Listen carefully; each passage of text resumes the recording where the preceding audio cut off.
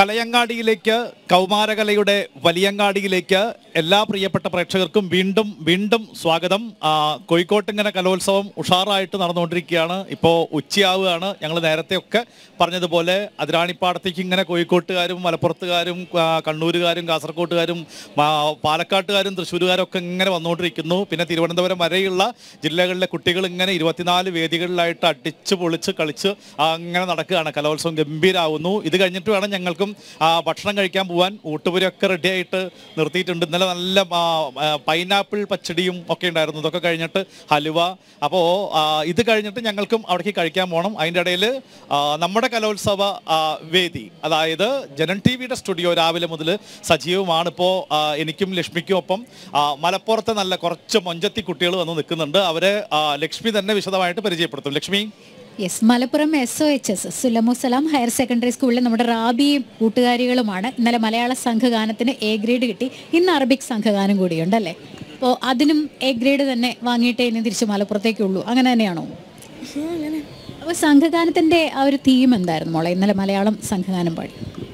അത് കേരളത്തിനെ പറ്റിയിട്ടൊക്കെ അങ്ങനെ എങ്ങനെ മത്സരം നല്ല വാശിയുള്ളതായിരുന്നോ? കൂടെ കൂടെ മത്സരിച്ച കുട്ടികളെല്ലാം തന്നെ അവരൊക്കെ അടിപൊളിയായിരുന്നു എല്ലാവരും എല്ലാവരും അടിപൊളിയായിരുന്നു ഓക്കെ അപ്പം നമുക്ക് നിങ്ങളുടെ പാട്ടൊന്ന് നമുക്ക് ഈ പ്രേക്ഷകരിലേക്ക് ഒന്ന് എത്തിച്ചാലോ പാടാൻ റെഡിയല്ലേ എല്ലാവരും ഓക്കെ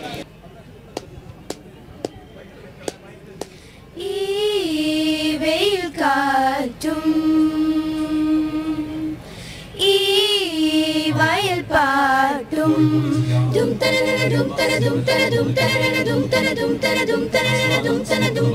തന ദും തന ദും ഈ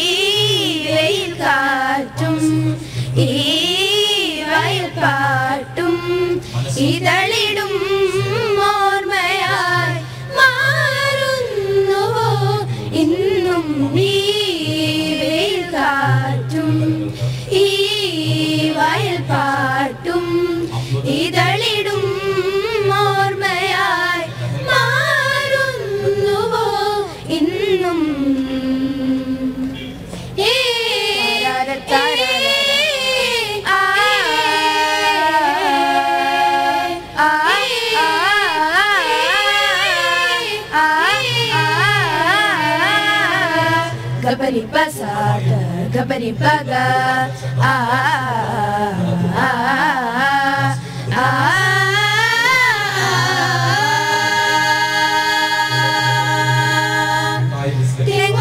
ൂക്കും ചായൽ കരയിൽ തേക്കു പാട്ടൊരുങ്ങി തെയ്യം തിരമേളം തേരിറങ്ങി തെന്മല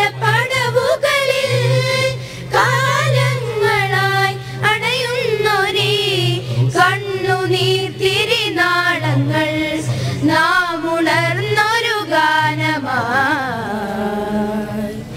ഈ വെയിൽ കാറ്റും ഈ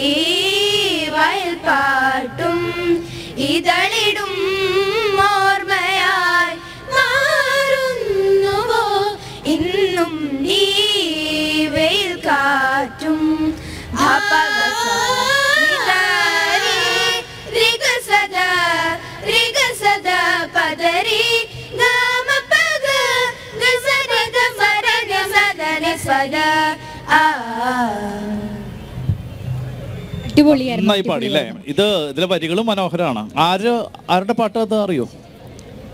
ഷിജിൽ പാലക്കാട്. അദ്ദേഹം എഴുതിയ പാട്ടാണല്ലേ?